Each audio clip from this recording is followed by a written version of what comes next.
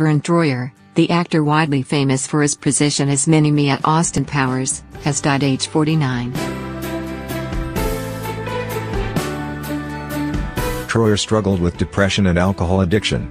Earlier this month, he had been admitted to hospital in Los Angeles, although his agents did not say why. An announcement posted to his official Facebook page described him as a very caring person. It is with great sadness and heavy hearts to write that Verne passed away today, the statement said. Verne was an extremely caring individual. He wanted to make everyone smile, be happy, and laugh. Anybody in need, he would help to any extent possible. It continued, Verne was also a fighter when it came to his own battles. Over the years he struggled and won, struggled and won, struggled and fought some more, but unfortunately this time was too much.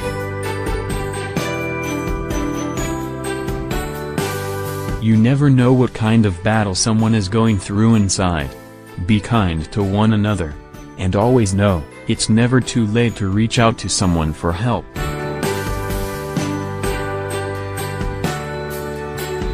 He was recently baptized while surrounded by family, the message added. Troyer starred as Griphook in the first Harry Potter film, and made a series of appearances on reality TV programs, including Celebrity Big Brother in the UK in 2009.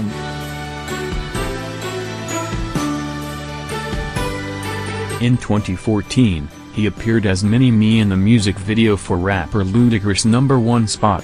Following his death, the musician said in an Instagram post, RIP Verne Troyer aka Mini-Me.